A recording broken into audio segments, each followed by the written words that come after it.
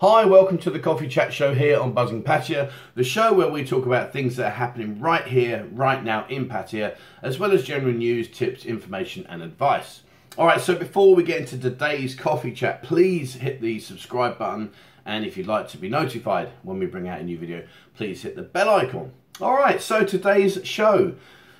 Wow, this one's going to be a good one, and I hope we're going to get lots of comments from you. But before we go into it, I just want you to remember two things, please. Number one is our best breakfast vote is finishing today, so please check out the link below if you haven't already.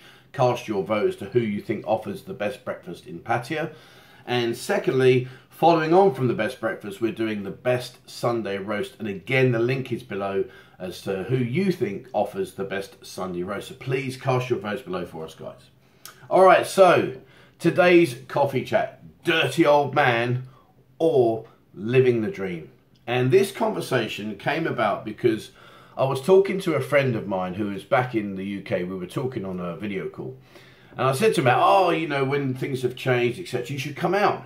And he said, yeah, he said, I was thinking about it. He said, but the trouble is, he said, everyone thinks you're a dirty old man if you come out to Thailand. And it got me thinking. And I thought to myself, well, hang about. Let's just talk about this for a second. Do our friends judge us?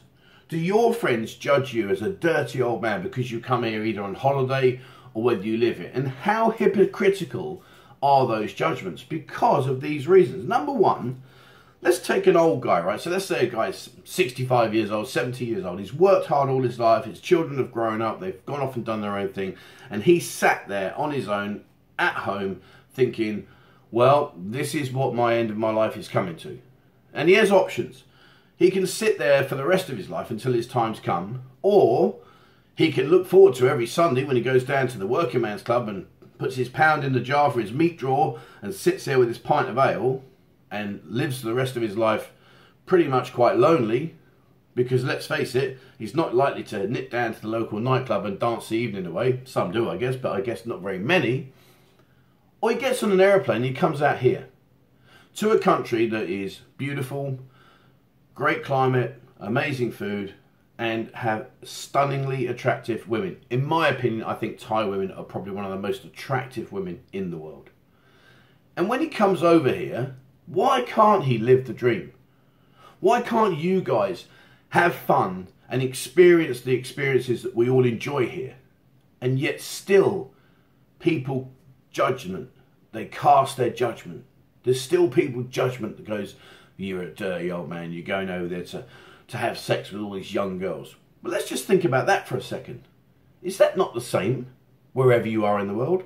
When you go into a bar and you walk up to the bar and you see a pretty girl there, if you just walked up and said, oh, hi, how you doing? My name's T, um, what's your name? She's going to think, oh, hello, weirdo alert, weirdo alert. And she might maybe be kind enough to be not so quite offensive and say, oh, yeah, hi, I'm, I'm okay, thanks, yeah or she might start a bit of conversation with you. But in general, if you just walked up to a girl and started that kind of situation, that kind of conversation, it, most people would go, weirdo alert, hello. Whereas if you walked up and said, hi, uh, can I buy you a drink? What's that? Can I buy you a drink? Or when you get to sit down with people and the girl accepts the drink, what is she thinking and what is the person buying the drink thinking? We're buying her time. And in that time segment you get for buying her a drink, that's your opportunity to show her what kind of a person you are to the point where you hope that she's that interested that you can buy her another drink and maybe a bit more drink. And who knows maybe you'll end the night with a with a bit of a, a, a happy ending. But when you come out here forget all that bullshit. Forget it. We don't need to do that it's a very easy, it's a very easy, non-complicated situation. You go into a bar, you buy the girl a drink, and that's it. We know where we're going with things. But yet you're a dirty old man. How? It just doesn't make any sense whatsoever why people think this. Why do, why do people cast these judgments? I've yet, in the 10 years I've been here, I've yet to see any man physically get a girl in a headlock and drag her out of the bar, kicking and screaming because she doesn't want to cope. And yet, we're judged. We are judged as being dirty old men. Incredible. Because no matter where you are in the country, number one, there is this situation here available everywhere, pretty much. But number two, even if you don't have it as a, hello, this is a red light area, It's the same concept. You get married back in England or in the, around the world and you get divorced. Do you keep everything and walk away? Thank you. Bye bye. Of course not. You have to go to court and then what happens? Oh, what do they say about a woman scorned? Next thing, I want this, I want this, I want this. And you walk away having paid a lot of money in many cases. Probably more money than if you'd have stayed single and come out here and just paid for your fun. But yet, we're dirty old men. And it just does my head in. And when you start drilling down into it and you start thinking about it, it's really not a really good place to be in in terms of how people judge you. How people snigger behind you about, oh yeah, yeah, he's going because he can't get laid over here, or he's going, he's going to go and buy those young girls. Let's talk about the young girls. Now I've been here 10 years and I know a lot of girls here because of the work I do here. And I ask these girls, is an old man good for you? Yes. Is he better than the young man? Oh, yes. And you think, whoa, hang on, where did that come from? And they look at it differently. And she doesn't want a young lad for many, many reasons. Butterfly wants to boom boom every night, all night long for hours. I wish. And there's no stability. He's yet to earn his income. He's yet to find his own life. So if they get a young lad, that doesn't appeal to him. But an older guy, in general, made his money, done all of his butterflying, probably got kids of his own, is, is settled down, and doesn't want to rammer all night long for hours and hours and hours. And therefore, for her, that's a much better perspective than some young lad that possibly will be here today, gone in a week's time, wants to spend every every second of every day in the bed, blah blah blah blah blah. So, in effect, the girls out here are switched on because they want the older man to come out here. And as I said earlier, I've yet to find anyone in a headlock being dragged down the street screaming.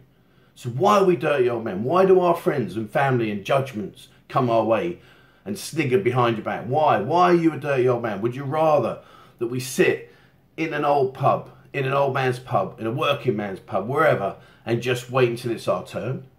And half the people, if not more, that judge you have never been here. Not even been here. Not even been here. Not even been here. And they're telling us what we are doing, and they've not even been here. Okay, so please, guys, drop your comments below. Share what you think. Share how you feel. Keep the comments coming. Let us know about whether your friends think you're a dirty old man or whether they think you're a good lad. Go on, crack on, son, enjoy yourself. Please comment below and let's see where we go with this chat because I'm really looking forward to seeing what other people think and to reading your replies. Alright, so that's it today on the Coffee Chat Show. And thank you so much to those of you that have been kind enough to support our channel by using the Buy Me a Coffee link. Uh, all your all your money that you send us really does help us cover our costs. So thank you so much indeed. It really is much appreciated.